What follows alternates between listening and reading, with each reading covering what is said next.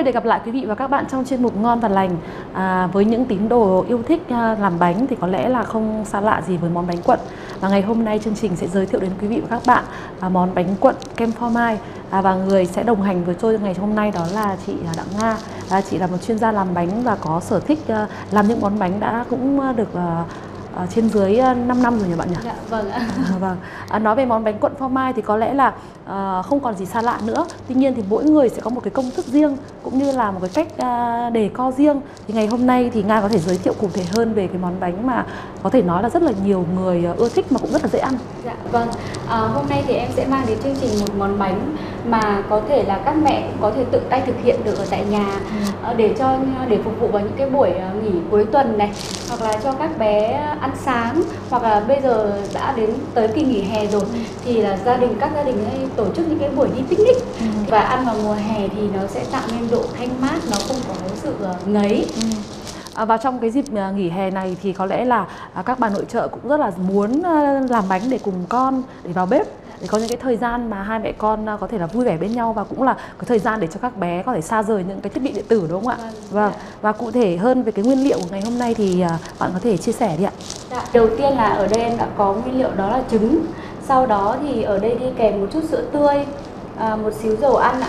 Ngoài ra thì ở đây em có thêm bột ngô, ừ. bột mì và một xíu đường đó để tạo nên cái độ ngọt cho bánh của mình vâng. và cái phần này thì lát nữa em sẽ bật mí sau ở cái phần uh, hoàn thiện bánh ạ à chính là cái phần mà gọi là uh, làm nên cái uh, vị của cái bánh đúng không dạ. ạ à, và bây giờ thì chúng ta sẽ cùng bắt tay vào để thực hiện món bánh cuộn phô mai ạ Đầu tiên để mà làm được món bánh cuộn này thì mình sẽ phải có phần cốt bánh trước ạ. Ừ. Thì bây giờ em sẽ hướng dẫn mọi người cái phần tách trứng trước trứng gà đỏ này thì nó sẽ mang lại nhiều lòng trắng hơn à. thì các mẹ sẽ dễ thực hiện hơn ạ ừ. bánh này lại cần ờ, nhiều lòng trắng hơn vâng. với ờ, bốn uh, quả trứng thì mình hôm nay mình sẽ làm ra được khoảng uh, bánh như thế nào à, hôm nay mình sẽ làm là 6 trứng chị ạ ừ. 6 quả trứng á thì mình sẽ đổ ra được một cái khuôn bánh uh, như thế này ừ. và mọi người khi lưu ý giúp em là khi mà mình tách lòng trắng thì cố gắng đừng để vỡ lòng đỏ dây vào lòng trắng á mình sẽ cân đường vào bâu lòng à, trắng của mình ạ ừ. với 6 cái lòng à, trắng này thì mình sẽ sử dụng bao nhiêu đường ạ? À, 6 cái lòng trắng này thì mình sẽ sử dụng là 120 g đường ừ. à, 120 đến 130 có thể xê dịch uh, tùy thì vào vị. cái độ ngọt của gia đình ạ à. và mình sẽ cân đến cái nguyên liệu ở bâu lòng đỏ ạ ừ. và đầu tiên là mình sẽ cho hỗn hợp đầu tiên mọi người sẽ cho chất lỏng vào trước giúp em đó là sữa tươi. Sữa tươi sẽ nhân ờ, không đường. Vâng sữa tươi không đường để cho là 90 gram sữa. Chút dầu ăn. Dầu ăn. Khoảng 70 gram dầu ăn. Ừ. mọi người sẽ sử dụng cái dụng cụ này đó gọi là phới lồng. À, mình sẽ đánh sơ qua. Nên để cho cái hỗn hợp sữa tươi dầu ăn và lòng đỏ nó hòa quyện vào với nhau.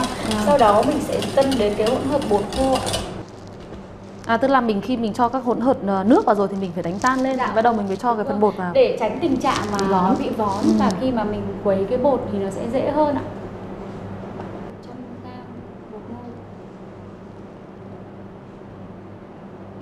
Sau đó mình sẽ cho là bột mì. Ừ.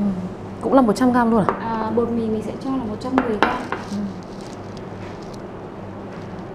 thì mình sẽ tiếp tục sử dụng cái dụng cụ đó là quế lồng ừ. và đến cái công đoạn này thì là các mẹ lưu ý giúp em là khi mà mình trộn bột như thế này ừ.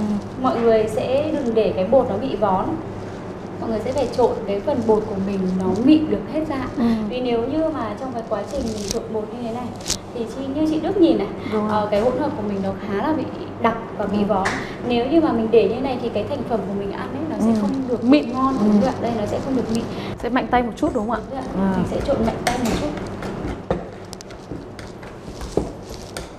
cái hỗn hợp của mình mịn đều là được rồi ừ. là mình sẽ dừng lại và sau đó mình sẽ chuyển sang mình đánh lòng trắng. Thì bây giờ mình sẽ sử dụng một cái máy đánh trứng cầm tay như thế này. À, đầu tiên thì mình sẽ đánh với uh, cái tốc độ trung bình thôi để cho cái đường nó kịp tan ừ. ra sau đó mình sẽ tăng lên tốc độ lớn nhất ạ. Rồi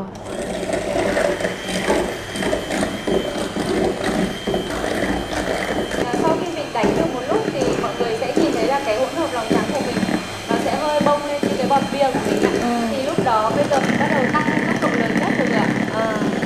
ngay từ ban đầu mà các mẹ mà đánh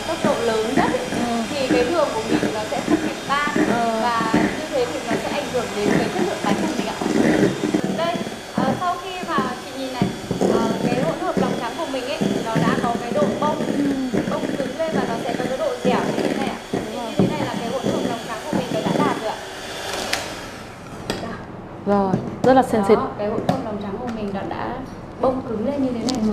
là cái hỗn hợp của mình đã đạt và sau khi mà cái hỗn hợp lòng trắng của mình đã đạt rồi thì mình sẽ tiến hành bước tiếp theo đó là trộn hai cái hỗn hợp lòng À. trắng và lòng đỏ vào với nhau ạ. đây cái lòng đỏ vừa rồi thì cũng đã được ờ, đánh rất là mịn rồi đúng không ạ Dạ, bây giờ sẽ đổ chung vào nhau ạ mình sẽ đổ cho bạn nhé đổ từ từ à Đúng rồi, mình sẽ đổ từ từ ạ.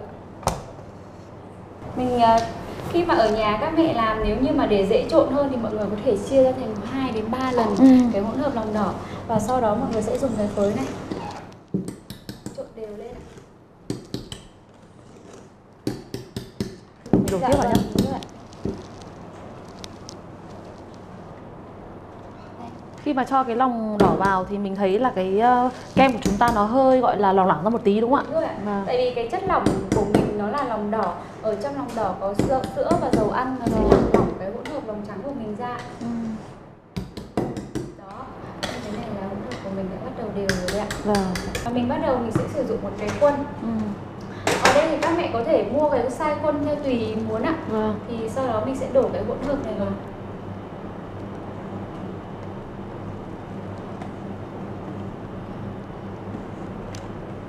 À, sau khi mà cái thần à, thành phẩm của mình đã hoàn thiện xong như thế này thì là mình chỉ còn một công đoạn cuối cùng đó là mang à, cho bánh vào lò để nướng vâng thì mọi người có thể nướng với nhiệt độ khoảng tầm 160 đến 165 độ trong vòng khoảng tầm 15 phút ạ, 15 đến 17 phút là cái thành phẩm bánh của mình đã đạt rồi ạ. Ừ. À, bây giờ thì mọi người cùng em à, mang bánh đi nướng nhé.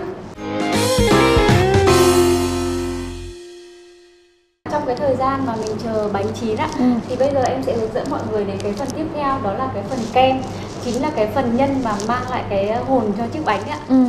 À, đầu tiên thì ở đây em đã chuẩn bị sẵn một chút à, kem tươi à, cái phần này chính là cái phần kem mà béo ngậy mà mang lại cho cái bánh của mình nó có độ ngọt mát và thanh thanh ạ Ừ. thì mình sẽ cân khoảng tầm 200 Ừ. đến à, 250 gram kem thêm cho em một xíu đường Đường. à, cho khoảng tầm 20 đến 25 gram đường mình cũng vẫn sẽ bật máy và mình sẽ đánh với tốc độ nhỏ để cho cái đường phần đường ở trong kem của mình nó tan hết. Cái đánh ờ, kem whipping này là ờ, sẽ có một cái ờ, lưu ý là mình cũng không nên đánh quá lâu đúng không ạ? Dạ. Không nó sẽ bị ờ, tách nước. Đúng rồi. Cái phần kem whip này thì các mẹ chỉ cần đánh mà khi mà nhìn thấy cái phần kem whip của mình nó có cái bộ độ bông và dẻo là mình có thể tắt máy và dừng lại được rồi ạ. Và một lưu ý nhỏ nữa đấy là phần kem whip này mình sẽ đánh với nhiệt độ phải kem phải lạnh. Ừ. Nếu như mà kem không lạnh thì rất dễ bị hỏng kem. Đến cái phần kem béo của mình đã bắt đầu có độ đông đặc rồi thì mình sẽ lập tức mình tắt máy và dừng lại ạ. ừ. Đây là cái thành phẩm của mình. như vậy là phần ờ, nhân bánh là xong rồi đúng không ạ Dạ, vâng. có lẽ lúc này thì cái bánh của chúng ta ờ, nướng thì cũng đã xong rồi bây giờ thì có lẽ đến công đoạn là để cho bạn ờ, nga có thể ờ, hướng dẫn để chúng ta chuẩn bị hoàn thành cái món bánh quận này ạ Khoảng thời gian nướng bánh từ 15 đến 17 phút là cái thành phẩm của mình đã được rồi đấy ạ. Ừ. Và chị à, Đức Màu vàng rất là đẹp. phần à, Ừ. mặt bánh của mình nó rất là đẹp đúng không ạ? Vàng ươm và nó có mùi à, khá là thơm. Ừ. Thế em sẽ lấy phần bánh này ra khỏi khuôn. Mình sẽ chuẩn bị một cái giấy nến đúng không ạ Rồi, mình sẽ cần một cái dây nến để khi mà mình cuộn bánh vào thì nó sẽ giữ được cái bánh của mình ạ.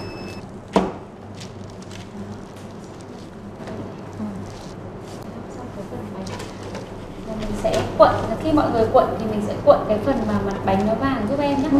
là cái phần này rồi và phần nhân của chúng ta à, phần nhân là chính là cái phần mà sau khi vừa xong em đã hướng dẫn mọi người đánh cái phần kem đấy Ừ. sẽ phết đều lên đây mình sẽ sử dụng con dao này để mình dàn đều phần kem đúng không ạ Dạ, vâng, ạ.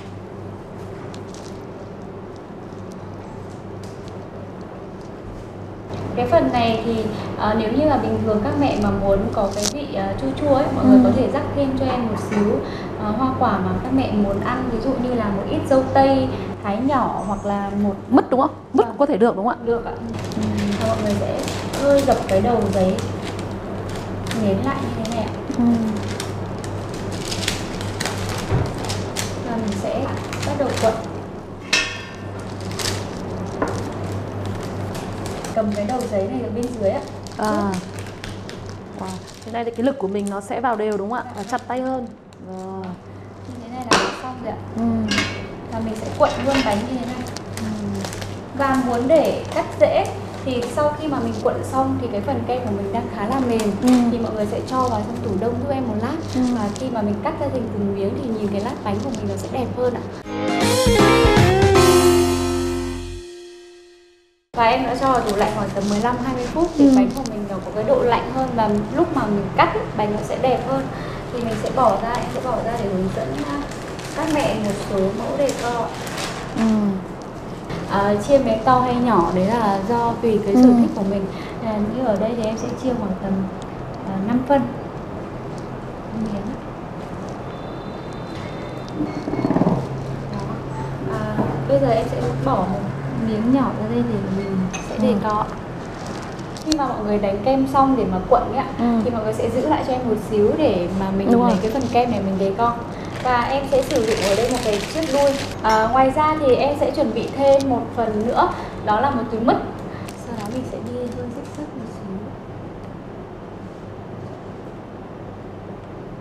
Một lát sung ạ. Ừ. mình có thể bẻ ra để co tùy theo cái cái phần đề co của mình.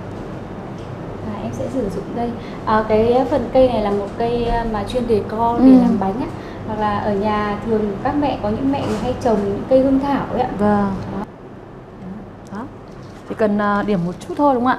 À, một xíu thôi thì chúng ta đã thấy chiếc bánh của chúng ta trông à, sinh động hơn này và nhìn là đã muốn thưởng thức rồi. Ừm.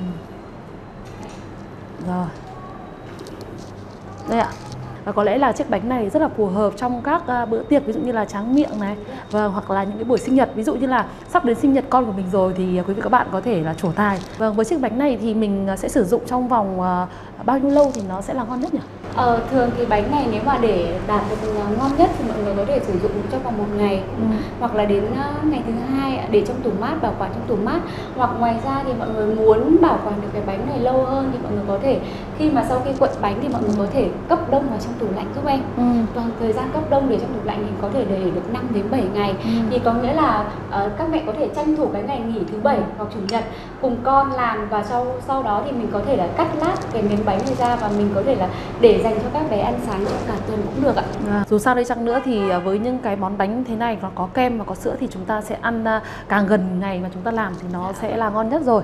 Và ngày hôm nay thì rất là cảm ơn bạn Nga, bạn đã chia sẻ về công thức à, món bánh cuộn phô mai này. Tôi nghĩ đây là một là gợi ý rất là thú vị để cho quý vị và các bạn có thể thực hiện cùng với con của mình trong những cái ngày hè này. Một lần nữa thì xin cảm ơn bạn Nga và xin chào quý vị và các bạn và hẹn gặp lại quý vị và các bạn trong chương trình lần sau.